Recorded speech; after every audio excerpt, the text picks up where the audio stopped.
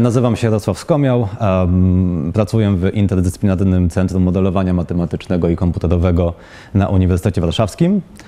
Nasza jednostka głównie zajmuje się obliczeniami e, dużej mocy, czyli duże superkomputery, które przeliczają zadania, które zlecają nam naukowcy z różnych zespołów naukowych w całej e, Polsce.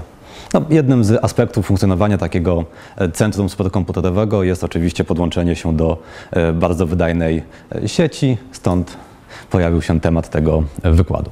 Krótka agenda, przejdziemy się potem po, po definicjach oczywiście. Rozpoznamy, kto zarządza tym internetem, jak wygląda adresacja IP, routery, routing, tablica routingu. Do tego oczywiście pozastanawiamy się wspólnie, czy można ten internet jakoś zepsuć, jakość połączenia, w jaki sposób sobie to mierzyć, w jaki sposób e, możemy sami, sami sobie zweryfikować. Zapraszam bardzo. Um, zapoznamy się z podstawowymi, tymi najpowszechniejszymi w tej chwili e, sposobami dostępu do internetu, czyli światłowody i przejdziemy się po najważniejszych protokołach i aplikacjach. Ok, to co to jest internet? Może ktoś, ktoś wie już. Słucham. Internet to ogólnoświatowa sieć, z której no, korzysta prawie każdy. Mhm, tak, jest to bardzo bliskie tej prawidłowej definicji. Oczywiście internet to jest globalny system, globalna sieć wzajemnie połączonych sieci i y, urządzeń. Tak, Podłączamy je oczywiście za pomocą e, urządzeń telekomunikacyjnych, a te urządzenia, żeby ze sobą rozmawiały, stosują pewną, e, pewne protokoły internetowe, czyli jest to ich język porozumiewania się między sobą. Oczywiście te sieci, które są łączone e, przez internet, są zarówno takie o zasięgu lokalnym, jak i o zasięgu globalnym. Są to sieci prywatne, publiczne, akademickie, rządowe, e, przedróżne. E, także podsumowując, internet jest zdecentralizowany, ogólnoświatowy, ogólnodostępny i posiada spójną adresację IP, która umożliwia nam dostęp do innych hostów w internecie. To czy w internecie mamy kierownika? Król internetu pewnie nie jeden by się znalazł, ale czy faktycznie jest tam jakiś dyrektor lub e, kierownik? Pewnie na początkowych stadiach y, był, tak, była taka osoba, ale teraz. No, póki internet był bardzo mało, był zarządzany przez e, e, pojedyncze instytucje e, amerykańskie. W tej chwili mamy IANę, czyli Internet Authority for Internet Numbers.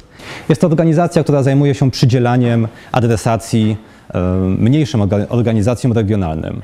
Tak, mamy tutaj organizację, która nam przydziela adresację oraz pięć regionalnych organizacji, które mniej więcej odpowiadają lokalizacji kontynentów. Tak, mamy tutaj ARIN, LACNIC, APNIC, RIPE dla Europy, Bliskiego Wschodu i Rosji oraz afrykańską jednostkę, afrykańską organizację. RIPE działa w bardziej płas, bardzo płaskiej strukturze. Y, wszyscy operatorzy, którzy chcieliby uzyskać jakąś adresację y, IP, bezpośrednio udają się do RIPE-u i tam mogą ją uzyskać.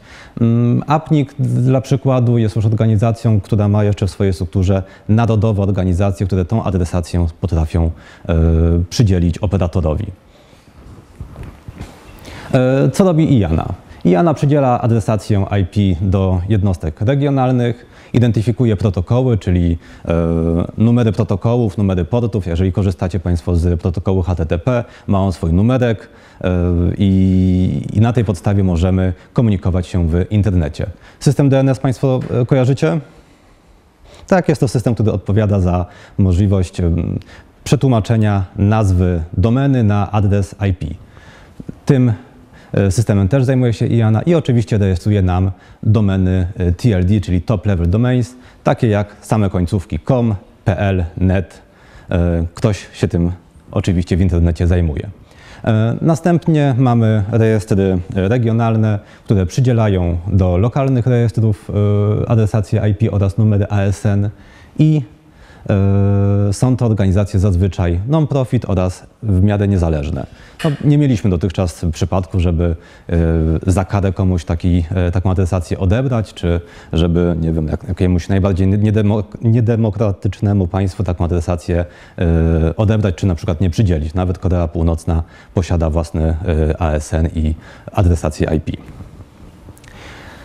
Czy zatem w, w internecie można robić co się chce i czy y, jesteśmy tam y, bezbronni? No nie, nie jesteśmy ani bezkarni, ani bezbronni. W internecie oczywiście funkcjonuje y, policja i inne służby. Także ze strony y, wojska mamy oczywiście dowództwo Wojsk Obrony Cyberprzestrzeni, Centralne Biuro Zwalczania Cyberprzestępczości, y, to z tych najistotniejszych służb.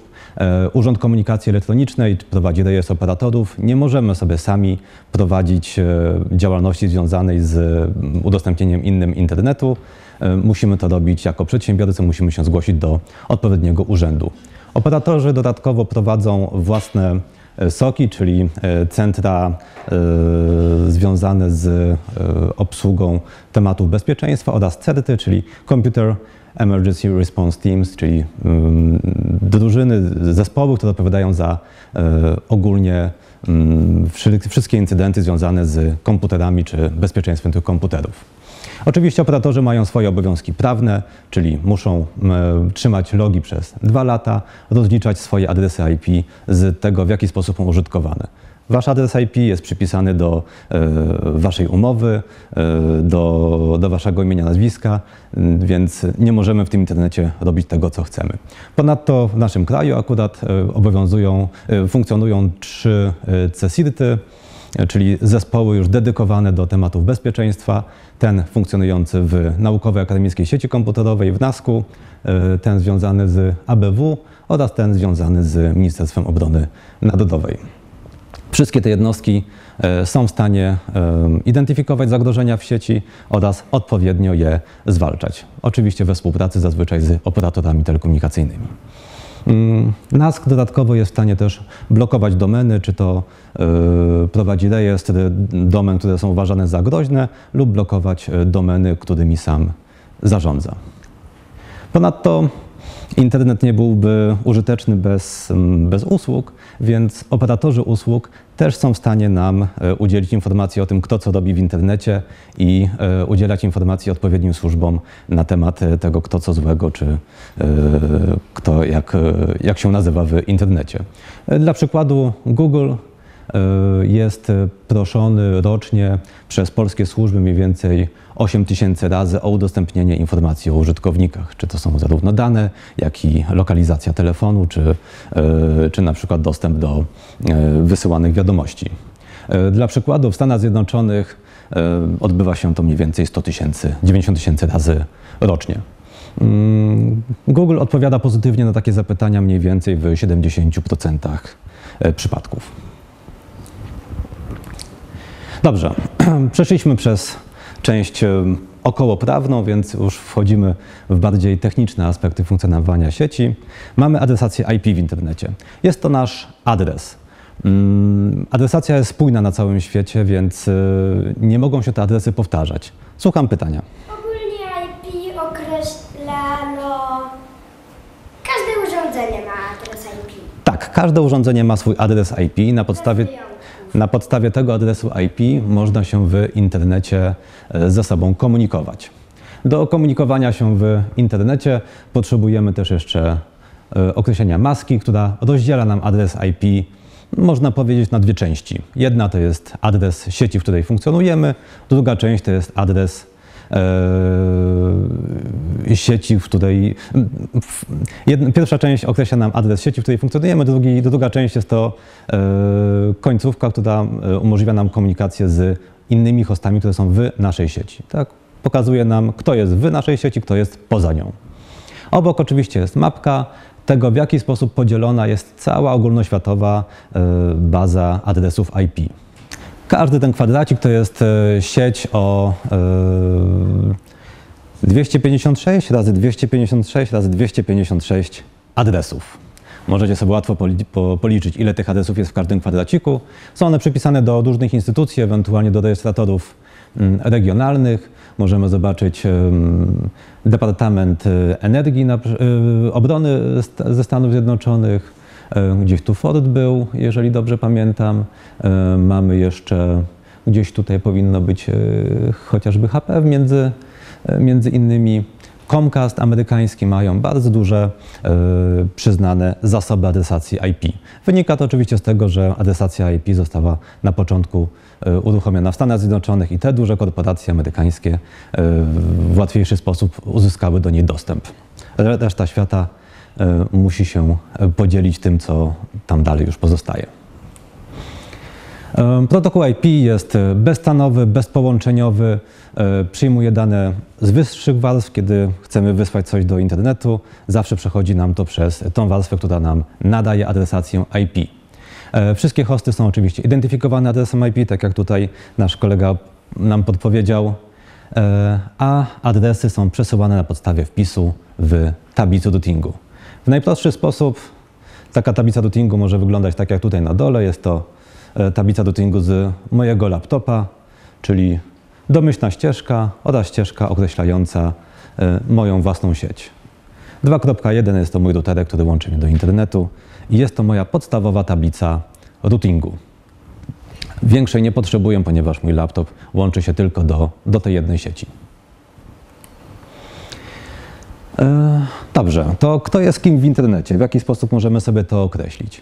A przykład jednego z, e, jednej z naszej sieci, która jest podłączona do sieci uniwersyteckiej, e, czyli sieć Warszawskiego Uniwersytetu Medycznego akurat w tym wypadku.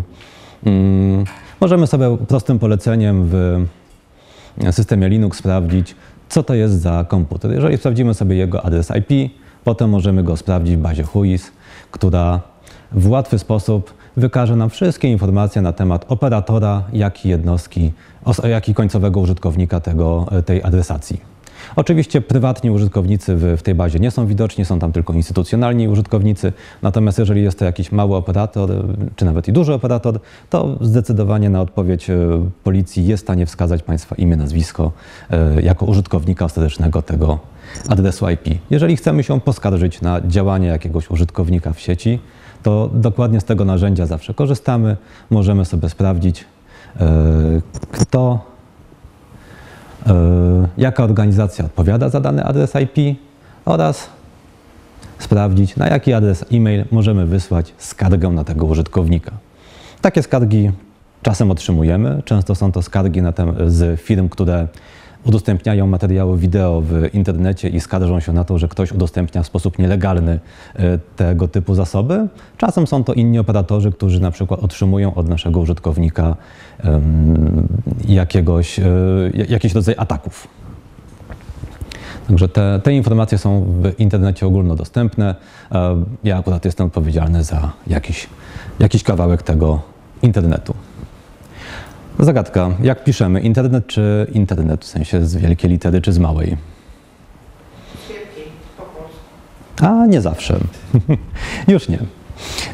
Kiedy mówimy o internecie jako o sieci złożonej z routerów, komputerów i połączonych jakimś światłowodem chociażby, to faktycznie mówimy o czymś, co ma własną naz- e, nazwę własną i e, jest to pisane z wielkiej litery. Natomiast kiedy mówimy o internecie jako o pewnego rodzaju medium, czyli jakiś, jakaś, jakiś całokształt e, dostępnych usług w, w tej sieci, to piszemy to z małej litery. Trochę tak, jakbyśmy obejrzeli, znaczy przez e, analogię do telewizji czy radia, tak? E, Usłyszałem coś w radiu, czy obejrzałem coś w telewizji. Wtedy piszemy już wszystko z małej litery.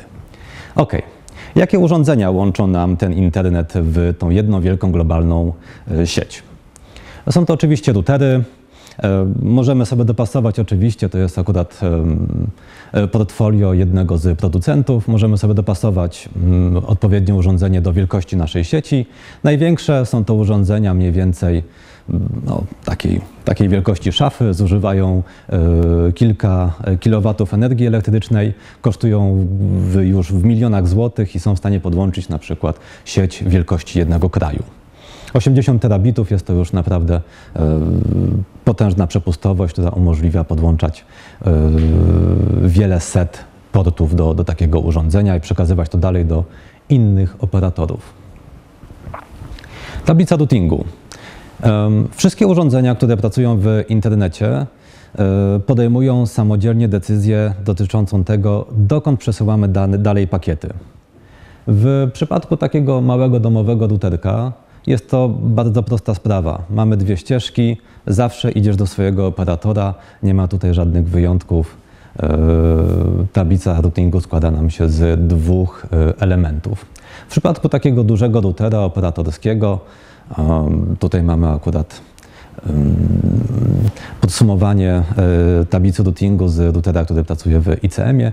Mamy mniej więcej milion ścieżek routingu dla adresacji, e, aplikacji, e, adresacji wersji czwartej oraz e, 200 tysięcy ścieżek routingu w adresacji wersji szóstej. Żeby to porównać do mm, prostszych przykładów, wyobraźmy sobie, że każda, każdy urząd pocztowy posiada książkę adresową całego świata.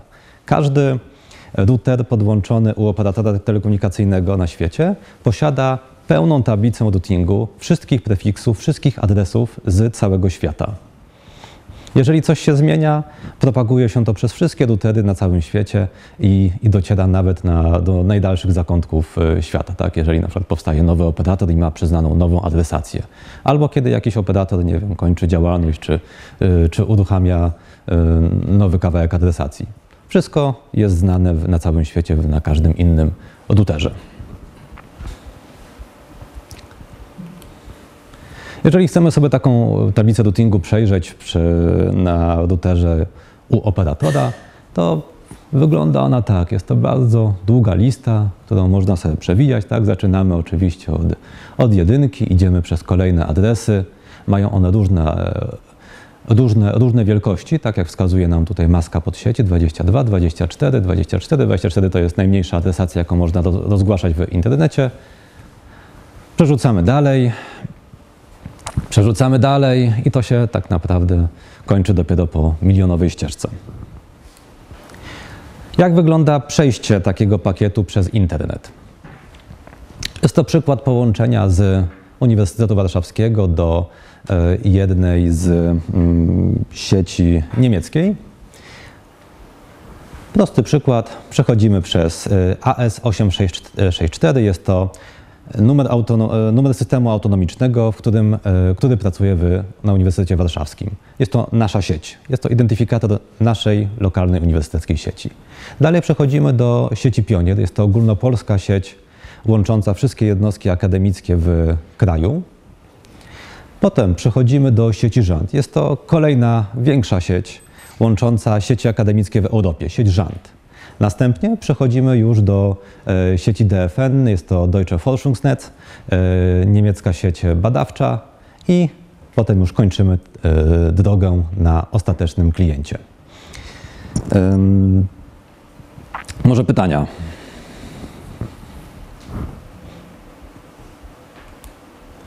Czy przejście przez internet zawsze jest optymalne? No, no nie zawsze. Przejście pakietu przez internet y, jest y, y, zależne od tego, w jaki sposób routery samodzielnie podejmą decyzje, a podejmują decyzje na podstawie, na podstawie tego, w jaki sposób zostały skonfigurowane.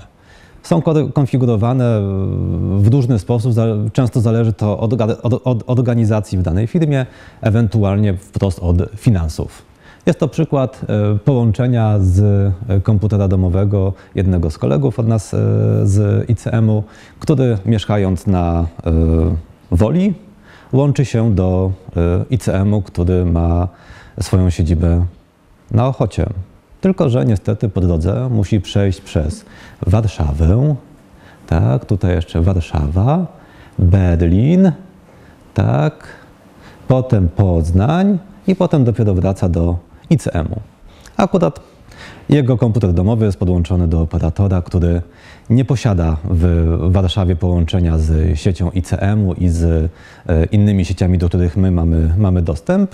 Natomiast najbliższy nas, nasz punkt styku mamy w Berlinie. No i tak wychodzi, że musimy kawałek Europy prze, przejść, żeby, żeby się tutaj połączyć. E, Nie jest to bez znaczenia, ponieważ tego typu opóźnienia mają wpływ chociażby na e, aplikacje, które są zależne od tego, jak szybko pakiety przepływają nam przez, przez sieć. No, mam tu na myśli o połączeniach głosowych, połączeniach wideo. E, Gry przez internet często są zależne od tego, jak szybko przesuwamy sobie te dane. Jak wygląda mm, mapa połączeń w internecie, chociażby dla Polski? Tak, to jest mapa wszystkich e, numerów autonomicznych, czyli wszystkich sieci, które są e, przypisane do e, naszego kraju. Po środku i oczywiście połączenia reprezentują połączenia pomiędzy tymi sieciami. Po środku mamy te największe sieci, które posiadają połączenia do bardzo dużej liczby innych sieci. Jakbyście Państwo sobie sprawdzili te, te numerki gdzieś tutaj z środka planszy, to są to zazwyczaj operatorzy jak e, NASK, Orange, Netia, Vectra i, i, i inni bardzo duzi. Natomiast gdzieś tutaj po, po okręgu reprezentujemy wszystkich tych, którzy mają tych połączeń troszkę mniej.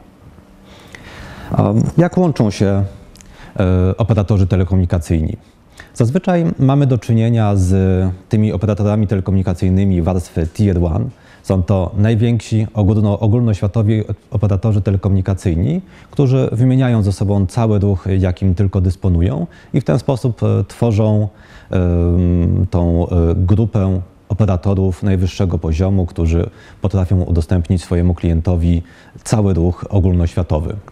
Niżej mamy mniejszych operatorów, którzy płacą tym operatorom Tier 1 za dostęp do ogólnoświatowego internetu. Natomiast bardzo często, oprócz tego, że posiadają dostęp do internetu mm, od tych operatorów najwyższej, e, pierwszego poziomu, bardzo często wymieniają się ruchem między sobą. Nie ma potrzeby, żeby przechodzić przez płatne łącze, które kupujemy od y, jakiegokolwiek dużego operatora. Możemy bezpośrednio podłączyć się z, z, z jakąś siecią. I na tym obrazku też bardzo dobrze widać, y, w jaki sposób internet jest y, bardzo trudny do zepsucia. Tych połączeń pomiędzy operatorami jest bardzo dużo. Nie jesteśmy w stanie e, tak zniszczyć tej sieci, żeby, żeby była bezużyteczna. Co najwyżej wypadnie nam jakiś jeden operator, jakaś pojedyncza sieć, ewentualnie jeżeli ten operator nam zniknie, to, e, to, to odłączy tego klienta, ale ten klient już posiada połączenie do drugiego operatora, który zapewni mu łączność. Jest to bardzo odporna na awarię architektura. W jaki sposób tacy operatorzy się łączą? Um, nie muszą oczywiście, tak jak już- już wspomniałem, kupować łącza od operatorów y, tej, tego pierwszego poziomu. Skupiają się w tak zwanych punktach wymiany ruchu internetowego. Łączą się między sobą i w ten sposób mogą przesyłać dane dowolnie pomiędzy, pomiędzy sobą. Jak aktualnie wygląda sytuacja w e, europejskich punktach wymiany ruchu? O, tylko muszę sobie przypomnieć. Tak, tutaj mamy punkt wymiany ruchu w, mm, w Niemczech, DECIX. Aktualnie dochodzą już do 16 terabitów w szczycie ruchu tego pomiędzy operatorami. Mm, AMSIX, ruch e, w Amsterdamie. Tutaj mamy nasz krajowy TPX, którym, który działa w Orange'u. Finks w, w Atmanie polskim oraz tutaj Epix, chyba w tej chwili największy, największy y, punkt wymiany ruchu, który dochodzi już do 3,5 terabita ruchu. Także bardzo często Tak? Nie widać, czy na, na linii poziowej jest ta sama sk- skala? Czy nie, nie, wszędzie jest, wszędzie jest inna. Chodzi mi, nie, chodzi mi o to, czy te wykresy się różnią z jakiegoś powodu, że my mamy jeden plik, a tam oni mają po dwa. Y, Tutaj mamy po prostu dwie doby reprezentowane, to, to z tego to wynika. Tak, ale faktycznie y, warto, warto na to zwrócić uwagę, w jaki sposób korzystamy z internetu. Mamy ten szczyt korzystania z internetu mniej więcej w okolicach godziny 21, wtedy kiedy każdy sobie y, siada gdzieś tam do, y, na kanapie i ogląda y, wideo na, na streamingach. Jest to największy, największy, największa część y, tego ruchu w internecie aktualnie. Natomiast rano, tak, gdzieś tam w okolicach, o tutaj dokładnie widać godziny, gdzieś tam w okolicy piątej. Ci, którzy siedzieli całą noc, idą już spać, a ci, co normalnie spali, jeszcze nie, jeszcze nie wstali z łóżek, tak. To, tak, to, tak to wygląda. Ok, jak łączą się ci operatorzy telekomunikacyjne? Mamy do tego e, odpowiedni protokół. Nazywa się ten protokół BGP, e, Border Gateway Protocol, czyli protokół dla e, urządzeń brzegowych. Urządzeń brzegowych, ponieważ mówimy tutaj o połączeniu dwóch routerów, które są na brzegu e, jakichś dwóch sieci. Główna mm, istota działania tego, tego protokołu polega na tym, że każda sieć, każdy router, który pracuje w, u takiego tele, operatora telekomunikacyjnego, przedstawia się swoimi sieciami. Mówi innym sąsiadom, że u mnie są dostępne takie adresy IP. W ten sposób wszyscy sąsiedzi wiedzą, że jeżeli ch- chcą dostać się do konkretnego adresu IP, wysyłają wtedy e, ten ruch do, do swojego sąsiada.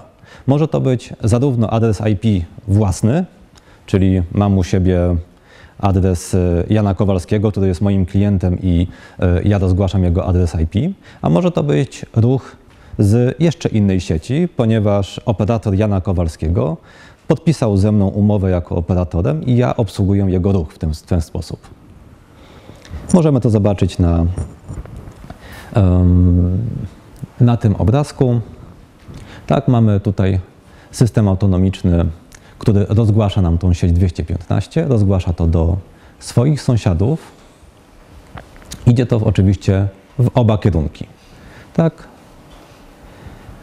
Potem sąsiad piąty przekazuje to do dwójki, potem idzie to do czwórki i potem do trójki. Natomiast w drugą stronę tak samo ten adres autonomiczny, ten numer, ten, ta sieć e, przesyłała sobie ten prefiks do, e, do trzeciego e, AS-a. Co zrobi nam sieć oznaczona AS3, jeżeli ma dwie ścieżki dostępne do, do tych adresów IP? Wybierze sobie tą korzystniejszą. Robi to oczywiście niezależnie na podstawie tego, w jaki sposób została skonfigurowana. Najczęściej administratorzy konfigurują sobie te sieci na podstawie tego, jak e, bardzo przepustowe są te połączenia. Tak? Jeżeli tutaj mielibyśmy 100 gigabitów, a tutaj 10, no to najprawdopodobniej zostanie tak skonfigurowane, żeby ten ruch e, poszedł akurat tym łączem z powrotem. E, Oczywiście tych parametrów, które umożliwiają nam inżynierię w zakresie tego, jak przechodzi nam ruch przez internet, jest, jest więcej. Natomiast no, tutaj cechą główną jest to, że mm, wszystkie routery podejmują tą decyzję e, bardzo niezależnie. Dla naszego AS-a, AS8664, który reprezentuje naszą sieć e, ICM-u, mamy przypisane tutaj sześć takich zakresów adresacji e, IP wersji czwartej oraz jeden zakres adresacji w sieci szóstej, e, w wersji szóstej. I tymi adresami e, w internecie, te adresy w internecie my rozgłaszamy i ten ruch zawsze potem wraca do nas. A czy może być tak, że nie, nie będzie wiedział, gdzie jest adres? To znaczy nigdzie w okolicy nie widzi, żadnego z sąsiadów nie widzi, gdzie to jest, co jest mu potrzebne, bo to właśnie ten pakiet jego jest przeznaczony do tamtego adresu. Jeżeli nie ma w swojej tablicy routingu ścieżki domyślnej, czyli wysyła je, e, zawsze em, pakiety do, do jakiegoś operatora, no to wtedy nie wyślę. Po prostu nie ma czegoś w tablicy routingu, to nie wysyłamy. Aha. Czyli nie ma takiego na, takiego na gapę szukania. Dobra, Nie. prześleć ci, ty poszukaj, gdzie może być. E, Tak, to się dzieje na przykład u klientów już indywidualnych w domu. Tak jak tutaj mieliśmy. O, to jest e, prosta tablica routingu u użytkownika domowego. Wyślij wszystko do swojego operatora i tyle. Tak, niech on sobie tam dalej szuka. A potem już ten operator wertuje te tablice routingu, szuka sobie e, najlepszej ścieżki do, do jakiegoś sąsiada, do którego może wysłać te dane. Bo Tak. ja próbuję zrozumieć, jak ta najlepsza ścieżka została znaleziona pomiędzy y, Wolą a Ochotą, czy tam, gdzie ten kolega mieszkał. Jakby jak, jak, co tym rządzi? No bo jak przecież to jest niemożliwe, żeby nasze polskie, nasi polscy operatorzy byli tak od siebie oddzieleni, że pierwszy ich wspólny punkt jest w Berlinie. W tym wypadku tak jest. A, aż tak. Tak, jest to akurat polityka firmy. E, Firma ma duże, wydajne łącza e, poza akurat Polską i nie bardzo jest zainteresowana prowadzeniem kolejnych e, punktów wymiany ruchu w, w Polsce. Zazwyczaj im więcej tych pu- punktów styku, tym troszkę ciężej jest zarządzać ruchem w sieci operatora. E, Tak jak tutaj e, spojrzymy sobie do tej tablicy routingu, to dana sieć e, jest dostępna w tym wypadku przez aż cztery ścieżki. Natomiast tutaj o, ta pierwsza z góry to jest ta, która jest wybrana jako ta funkcjonująca w routerze. Wszystkie pozostałe funkcjonują jako ścieżki zapasowe. Zazwyczaj są to ścieżki w jakiś sposób gorsze, albo oznaczone przez administratora jako, jako gorsze, lub algorytm sam sobie w taki sposób je oznaczył. Tak jak nie wiem, na ile to widać e, z daleka, mamy tutaj chociażby liczbę sieci, które mamy po drodze. Tak? Jeżeli mamy tych sieci dwie, to znaczy, że jest to bliski sąsiad i tym łączem możemy te dane sobie przesłać.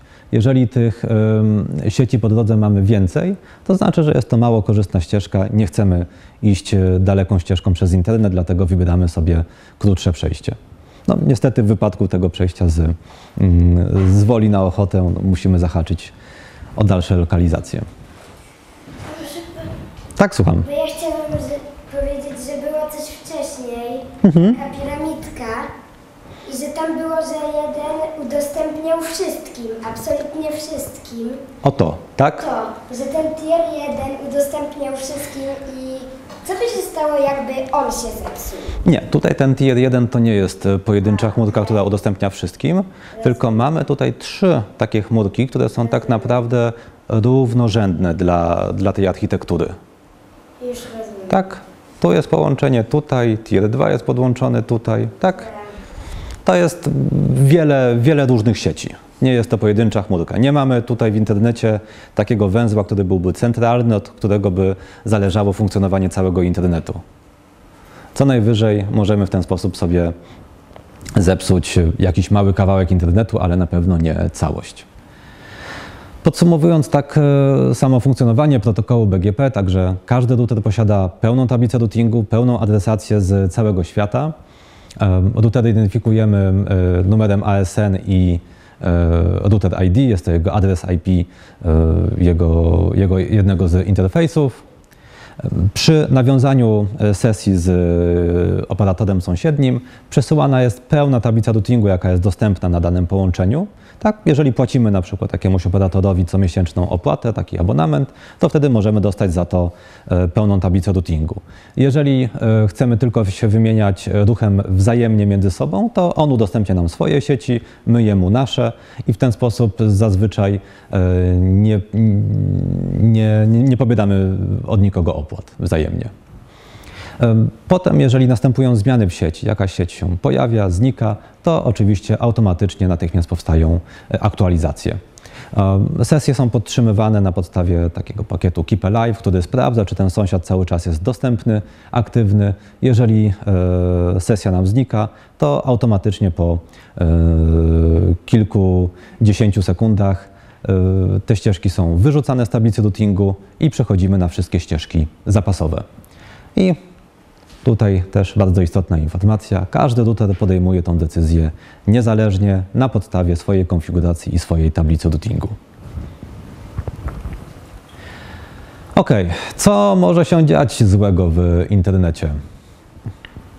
Oczywiście można, e, w sensie co, co może się dziać złego z połączeniami pomiędzy, pomiędzy operatorami. E, Bardzo częsty przypadek, czyli koparka wykopie, wykopie kabel. W przypadku kabli podmorskich możemy zahaczyć kotwicą. Ataki rekinów już się rzadko zdarzają. Te kable są już na tyle dobrze zabezpieczone, że, e, że dawno takich przypadków nie było. W kanalizacji, która e, ma, e, jest położona w mieście, mm, to często zdarza się, że mamy do czynienia z gryzoniami, które lubią sobie takie kabelki zjeść. Szczególnie dotyczy to nowych kabli. Jeżeli nowy kabel zostanie do kanalizacji włożony i w ten sposób zablokujemy szczurom jakiś, e, jakąś ścieżkę, e, to lubią sobie to przegryźć, żeby z powrotem przedostać się tam, gdzie wcześniej e, chodzili, chodziły. Inny przypadek to jest akurat scena z aktualnej wojny na Ukrainie. Mamy tutaj zniszczenia w Irpieniu. No jedną z pierwszych czynności, które trzeba było wykonać po, już po nalotach, to było właśnie odbudowa infrastruktury telekomunikacyjnej jako e, tego najważniejszego zasobu, który, e, który umożliwia dalsze prowadzenie działań i funkcjonowania całego państwa. Co może się dziać złego, jeśli chodzi o połączenia w internecie i czy można w jakiś sposób to zaburzać? Mm. Tak jak już wspomniałem, każdy operator e, pokaz, przekazuje swoim sąsiadom swoje adresy IP. No ale co by było, gdybym ja powiedział, że ja mam czyjąś adresację? No teoretycznie może się zdarzyć tak, że któryś z operatorów to przyjmie i zacznie nam wysyłać e, dane, które dla, do nas wcale nie są, e, dla nas nie są przeznaczone. Taki przypadek mieliśmy w 2019 roku. SafeHost, jeden z operatorów telekomunikacyjnych, e, rozesłał w China Tele Telecom adresację, która nale- należy do WhatsAppa. China Telecom e, rozpropagował to dalej i potem w, u innego operatora e, dane też się rozpropagowały i w ostateczności WhatsApp był wtedy niedostępny przez wiele godzin. Co się wydarzyło? Każdy użytkownik, który, który próbował się połączyć swoją aplikacją z WhatsAppem, nie przechodził e, prawidłową ścieżką do serwerów WhatsAppa, natomiast był kierowany do SafeHosta, który tych, który tych adresów nie posiadał w swoich zasobach, więc trafiało to w nicość. Po prostu router nie wiedział potem, co zrobić z taką adresacją, więc e, nie przekazywał tych danych nigdzie dalej. Możemy oczywiście sobie z tym radzić. e, Zabezpieczamy routery przed e, takimi chociażby przypadkami. Akurat tutaj administratorzy się nie popisali. E, Filtry prefixów. Cała ta tablica routingu, którą wcześniej pokazywałem, jest na bieżąco filtrowana. Od RIPE-u, od innych organizacji otrzymujemy listy prefiksów, które są przypisane do danej sieci, do, wszystkich operatorów. I jeżeli potem otrzymujemy od kogoś e, informację o tym, że hej, słuchaj, to są moje adresy IP, to my to cały czas filtrujemy i sprawdzamy z ogólnodostępną bazą.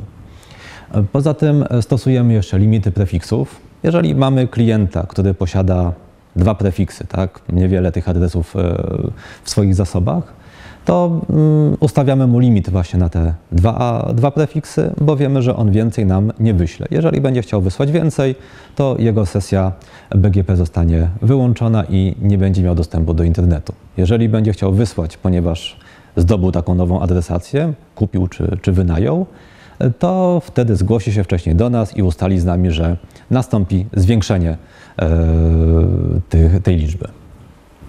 Weryfikujemy też ścieżkę, czy ścieżka do operatora sąsiedniego faktycznie przechodzi przez e, tego, który nam, e, nam to rozgłosił oraz stosujemy mechanizm RPKI. Są to certyfikaty, którymi są podpisywane ścieżki, e, które udostępniają operatorzy sąsiedni. Także jest tych mechanizmów bardzo dużo, natomiast nie zawsze, jak widać, są stosowane, ponieważ mocno obciążają zarówno, e, zarówno sprzęt, jak i no, też trzeba wymyślić mechanizmy, w jaki sposób to aktualizować i skonfigurować. DDoS, znacie Państwo takie pojęcie? Nie, okej. E, DDoSy, czyli mm, denial of, denial of service, czyli zaburzenie usługi. Zazwyczaj w internecie odbywa się to w taki sposób, że z wielu stron, od wielu e, komputerów wysyłany jest duży ruch do jakiegoś jednego atakowanego hosta, który w ten sposób nie może który w konsekwencji nie może komunikować się z internetem, ponieważ jego łącze jest zablokowane. Do e, usuwania takich zagrożeń w sieci też stosujemy odpowiednie algorytmy i odpowiednie aplikacje. Tutaj mamy akurat e, schemat tego, w jaki sposób odbywa się, odbywa się to w tej sieci ogólnopolskiej e, Pionier. Jest to sieć akademicka. Um, mamy bardzo wiele routerów, do których podłącza się nasza sieć. Um, na tych routerach e, weryfikujemy, jaki rodzaj ruchu na te routery jest przesyłany. W tym momencie analizator jest w stanie powiedzieć, czy jest to mm, atak, czy jest to prawidłowy ruch. Ma pewne mechanizmy, które pomagają mu w tej weryfikacji. Następnie do, e, do routeru z powrotem wysyłana jest informacja, jaki ruch należy zablokować. Czyli jeżeli wiemy, że mamy atak z chociażby e, dużego azjatyckiego kraju, to musimy potem jego adresy IP tymczasowo zablokować i jesteśmy przynajmniej na chwilę znowu bezpieczni. Jakość internetu. Sprawdzaliście Państwo kiedyś speed testem, jak szybki jest internet? A umiecie Państwo inter interpretować te wyniki? Całkiem. Ok, to co jest najważniejsze w mm, interpretowaniu tych, znaczy, co jest, jakie parametry są najważniejsze w ocenie jakości internetu? Szybkość pobierania i wysyłania, no i opóźnienie. No dokładnie. Tak, mamy tutaj tych parametrów troszkę jednak więcej niż e, sama prędkość pobierania i, e, przesyła, i po, pobierania i, i, i wysyłania. Przede wszystkim jest to opóźnienie do węzła, względem którego testujemy nasze łącze. Proszę pamiętać, że w momencie, kiedy testujemy takie łącze chociażby speed testem, zazwyczaj wyświetla nam się tam em, najbliższy węzeł, którego Speedtest proponuje jako, jako węzeł, do którego chcemy przetestować nasze połączenie. To proszę zwracać uwagę, czy to nie jest przypadkiem węzeł, który jest utrzymywany gdzieś w serwerowni naszego operatora, ponieważ no, nie ma to najmniejszego sensu, żeby e, testować, przepustowość naszego łącza w ramach e, szkieletu sieci, sieci jednego operatora. Zazwyczaj, jeżeli dochodzi do jakichkolwiek zaburzeń, to jest to gdzieś między operatorami, wtedy ma, ma, ma miejsce chociażby wysycenie jakiegoś, jakiegoś połączenia. Istotnym, połącze, istotnym parametrem jest jeszcze jitter, czyli jest to odchylenie em, względem średnich wartości. Czyli jeżeli mamy jakieś opóźnienie, które wynosi chociażby te 6 milisekund, to nie chcemy, żeby ono było raz 1, raz 20, tylko chcemy, żeby to było stałe 6 milisekund. Inaczej aplikacje, które są wrażliwe na opóźnienia, chociażby te związane z przesyłaniem dźwięku, mają większy problem z tym, żeby buforować swoje, e, swoje dane.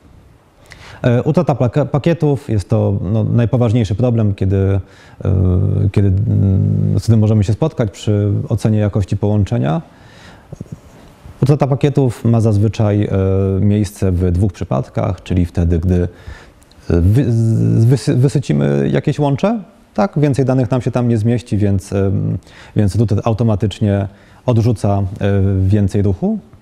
E, lub wtedy, kiedy mamy do czynienia z awarią e, już e, fizycznego połączenia, tak, chociażby światłowód, który jest zabrudzony i co jakiś czas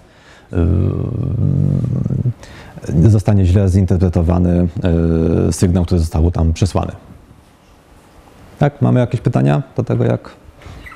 A jak, wymusić sprawdzenie no, tego speed testu na jakimś dalszym y, E, miejscu niż u operatora?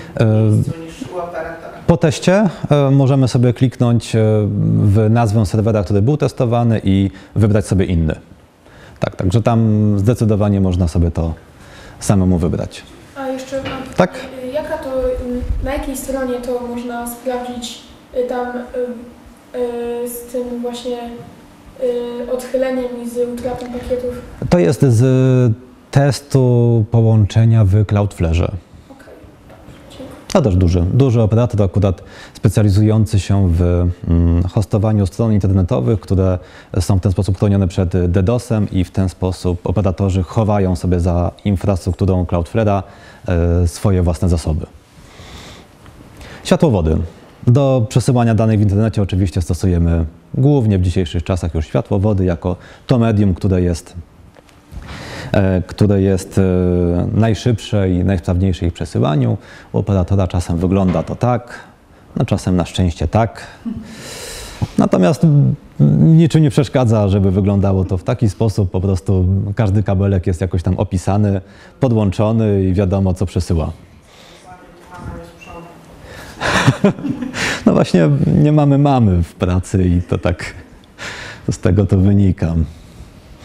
A światłowody w jaki sposób są poprowadzone w, już tutaj na, na lądzie, to oczywiście pełna inwentaryzacja, także jeżeli puszczamy jakąkolwiek trasę w, zakopaną w ziemi, to jest to odwzorowane potem na, na mapie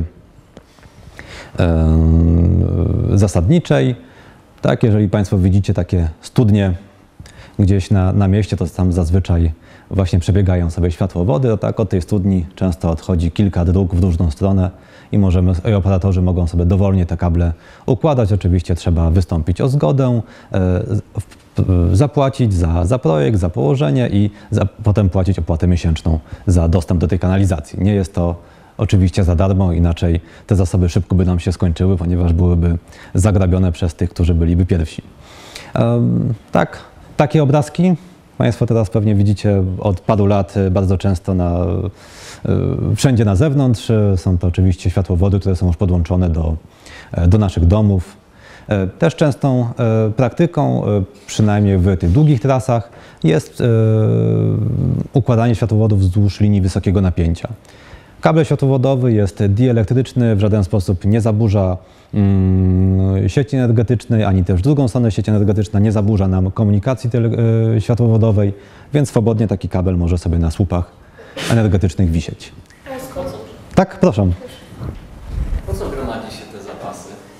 E, Zapasy gromadzi się po to, że jeżeli dojdzie do awarii jakiegoś kabla, to mm, żeby e, potem uszkodzony odcinek można było naprawić, to właśnie z takiego zapasu sobie ściągamy potem na przykład 100 metrów i przedłużamy to dalej.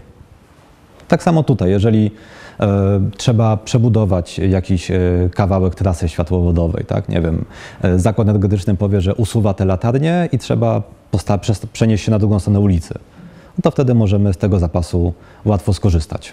To wynika z tego, że one mają, nie wiem, jest ich dużo rodzajów i no bo w przypadku kabli elektrycznych coś takiego nie występuje, tak? Tak, Kabel występuje. Widziałem, że elektrycy kładą instalacji sobie zawsze przy odbiorniku zostawiają. Zwój, zwój żeby Czasem, czasem, czasem, czasem tak, ale faktycznie w przypadku tutaj światłowodów jest to bardzo częsta praktyka. przy prądzie silnika, bo prąd indukuje. No tak, nie, ma- nie, ma, nie ma nawet bardzo możliwości.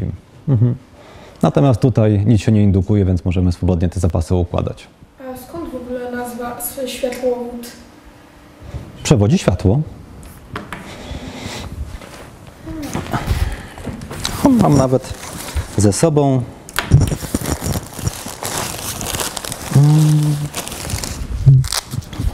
Gadżet, który nam to wszystko pokaże. Proszę sobie tutaj zobaczyć.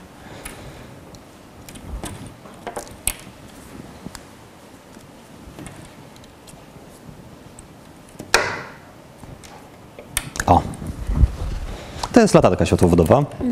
Proszę sobie tutaj przyłożyć i zobaczyć, jak po drugiej stronie. I proszę sobie przekazać dalej, ewentualnie podejść. I świeci, dokładnie. W światłowodzie mamy światło. Zazwyczaj jest to. Nie wiem, czy mam tu jakiś ładny slajd. Nie mam. O. Zazwyczaj jest to światło, e, zazwyczaj jest to zawsze światło lasera. E, Często już jest to światło w spektrum niewidzialnym dla oka, także trzeba bardzo uważać, żeby sobie tego oka nie uszkodzić. Natomiast e, dochodzi tam do takiego zjawiska całkowite wewnętrzne odbicie, które zachodzi pomiędzy e, rdzeniem a płaszczem i w ten sposób światło z bardzo małym oporem jest w stanie, jest w stanie przejść przez e, wiele kilometrów tego światłowodu. Kable podmorskie, jest ich już bardzo dużo na, na Ziemi. Polska akurat niekoniecznie y, musi mieć takie kable, ponieważ łatwo się łączymy do innych sieci drogą lądową, ale już y, połączenie międzykontynentalne, które najczęściej jest y, realizowane z, ze Stanów do, do Wielkiej Brytanii, ewentualnie do, do Hiszpanii czy Francji, to tutaj tych kabli jest już zdecydowanie więcej. Kable podmorskie e, układamy oczywiście ze statków. Mamy tam taki pług, który kopie delikatne zagłębienie w, w dnie morza i układany jest tam kabel. Mm, Światło, jak Państwo myślicie, na jaką odległość można przesłać tak światłowodem, żeby dało się jeszcze zinterpretować prawidłowo mm, sygnał? No nie do końca. Każdy kabel e, światłowodowy posiada mm, własną tłumienność, czyli jest to parametr mówi- mówiący nam, jak bardzo ogranicza nam energię fotonów, które, które w, tym, e, w tym światłowodzie się znajdują. I mm, mniej więcej po 80 km nie mamy już odbiorników, które byłyby w stanie wyłapać te pojedyncze fotony i, i zinterpretować wynik. Także przyjmuje się, że już technologicznie te 80 km, no 100 parę czasem, tak, no to już jest to ta granica, po której musimy wprowadzić mm, wzmacniacz, ewentualnie e, re- regenerację tego sygnału. Czyli jak, jak są te, jak działają te kable, które są długości paru tysięcy kilometrów pod, Atlanty, pod na dnie Atlantyku? Dwie stacje po dwóch stronach są zazwyczaj zasilane. Te kable, które są zakopane w ziemi w, pod, pod e, morzem, są e, zasilane z obu stron. Są to hybrydowe kable, które mają zarówno światłowody, jak i, jak i te kable miedziane, które są w stanie przenosić tam energię. E, I po drodze znajdują się wzmacniacze. Wtedy wzmacniamy, wzmacniamy, wzmacniamy, wzmacniamy. Jest tam wiele niekorzystnych zjawisk, ponieważ często jeżeli mamy jakieś zakłócenia, to wzmacniamy też i te, te, te zakłócenia, czy niepoprawnie zinter- in- zinterpretowane e, stany. Natomiast generalnie jest to właśnie wszystko po drodze wzmacniane. Jak rozumiem, międzykontynentalnych jest powiedzmy 50, takich wzmacniaczy jest 50 Tak, no dokładnie, na jednym kablu. tak. Jest to po prostu zasilone z obu stron i po drodze te, zasila, te wzmacniacze wzmacniają nam cały sygnał.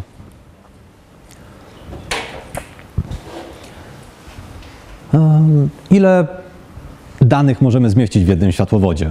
Aktualnie rekord świata, który został pobity w tamtym roku, jest to e, 23 petabity w jednym włóknie. Natomiast jedno włókno to jest tylko mały kawałek takiego kabla światłowodowego, ponieważ taki standardowy kabel, jaki jest stosowany gdzieś w połączeniach na lądowych, to jest 288 takich włókien. Także możemy sobie łatwo przemnożyć, ile tych danych można aktualnie przesłać. Poza tym w jednym włóknie nie następuje zazwyczaj jedna transmisja. Światło ma mm, wiele tutaj składowych. Można to podzielić w domenie długości e, fali. Czyli różne fale, tak mówimy na to kolory, tak? Czyli różne kolorki odpowiadają nam różnym falom i jest to oddzielna transmisja, która jest interpretowana odpowiednio, odpowiednio przez urządzenie odbiorcze. Tak jak tutaj na tym rysunku możemy mieć różne źródła naszych danych, Wchodzi to nam na jeden multiplexer, czyli urządzenie, które zbiera nam wiele różnych transmisji i układa to po kolei w jednym e, światłowodzie, a potem z drugiej strony musimy to zdekomponować, rozebrać na mniejsze pojedyncze sygnały. A GPON, czy wiecie może Państwo, jak działa ta technologia, która teraz powszechnie w naszych domach funkcjonuje? Mamy e, urządzenie po stronie operatora. Całe osiedle możemy w ten sposób podłączyć jednym włóknem, a potem ma miejsce, jest tutaj posadowiony splitter do, do tych połączeń e, dla, dla klientów indywidualnych. Co jest ciekawe, mm, jeżeli mamy transmisję od operatora do, e, do pojedynczych e, użytkowników, to całość transmisji jest wysyłana do wszystkich użytkowników, czyli każdy sąsiad dostaje dane swojego sąsiada. Natomiast kwestią już tego urządzenia końcowego jest prawidłowa interpretacja tych danych. Dane są szyfrowane, także każdy klient ma swój własny klucz, którym jest w stanie rozszyfro- rozszyfrować tylko swoje dane. Natomiast co się dzieje w odwrotnym kierunku, czyli kiedy wysyłamy dane z naszego domu do operatora. Wtedy następuje synchronizacja e, pomiędzy wszystkimi tymi urządzeniami, które pracują w ramach jednego splittera i każdy dostaje swój mały kawałek czasu, żeby wysłać e, te dane do operatora. Następuje to oczywiście, ta, ta zmiana oczywiście następuje ileś tam tysięcy razy na sekundę, więc e, każdy ma jakąś tam swoją chwilkę na wysłanie swoich danych, także nawet nie zauważamy tego, że nastąpiła jakaś tam przerwa. Dzięki temu nie mamy na naszych osiedlach żadnych routerów, żadnych urządzeń aktywnych, po prostu światłowód gdzieś do jakiejś dalszej lokalizacji naszego operatora. Ile razy, ile razy można spojrzeć w światłowód? Dwa razy, tak. Raz lewym, raz prawym okiem, a potem się już to nie uda. Nie wolno patrzeć w światłowody. W światłowodach mamy do czynienia z promieniowaniem elektromagnetycznym, które jest niewidoczne dla oka człowieka, także możemy nie być świadomi zagrożenia, natomiast w bardzo łatwy sposób możemy mm, uszkodzić sobie oko. Głównie jeżeli mamy do czynienia z dalekimi transmisjami na kilkadziesiąt kilometrów, tam e, ten nadajnik jest już trochę mocniejszy. System DNS e, funkcjonuje w taki sposób, że jeżeli wpisujemy sobie google.com do, do naszego komputera, to nasz e, komputer, a potem nasz routerek mały jest w stanie sobie poradzić z rozszyfrowaniem tego, na jaki adres IP należy przesłać dane, z których, których my oczekujemy. No tutaj już sobie niestety protokoły musimy pominąć. Ok, to już może ostatni slajd. Dokąd się łączymy, kiedy korzystamy z internetu? Zazwyczaj łączymy się do dużych data center, które gdzieś są rozlokowane równomiernie w miarę na całym świecie. Chodzi oczywiście o to, żeby mieć jak najbliżej do e, różnych punktów, gdzie są obecni operatorzy czy dostawcy treści. To jest akurat Centrum Technologii na Białęce, skąd serwujemy chociażby Meteo.pl, serwis, który, e, który, w którym przedstawiamy prognozę pogody na, na najbliższe dni. A tutaj duże data center e, operatorów typu Google, Facebook, e, Poznańskie Centrum Superkomputerowe, czy akurat to na naszej, e, to na warszawskiej Białęce, należące do, do ICM-u. Dziękuję, dobrnęliśmy do końca.